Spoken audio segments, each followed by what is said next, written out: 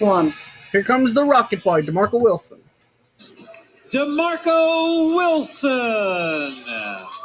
Welcome back to the action, folks. DeMarco Wilson is one of my favorite professional wrestlers to watch in the ring. He is so fun, so high flying. Every match that he has, it gets 10 stars in my book.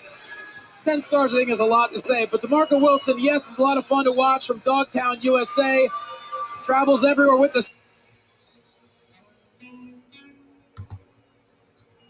DeMarco Wilson